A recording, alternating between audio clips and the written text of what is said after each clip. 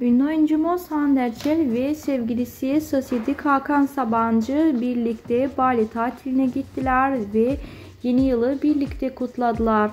Hande Erçel kendi Instagram hesabından yepyeni paylaşımlarıyla gündemde ve yepyeni fotoğraflarıyla karşınızdayız. Muhteşem e, fotoğrafları izlemeyi için kanalıma abone olmayı unutmayın.